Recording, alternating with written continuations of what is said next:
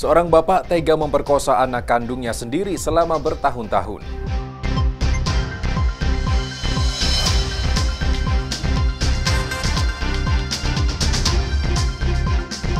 Puluhan warga yang terjaring razia masker dihukum menghafal Pancasila.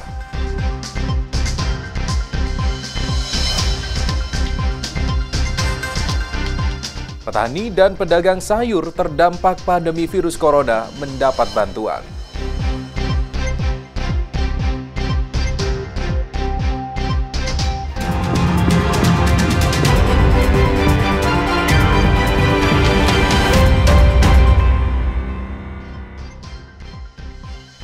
Halo selamat pagi saudara, apa kabar Anda hari ini? Senang sekali Kompas Jember kembali menyapa Anda.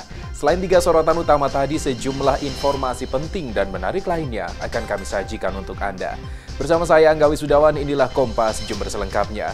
Hanya di Kompas TV, independen, terpercaya.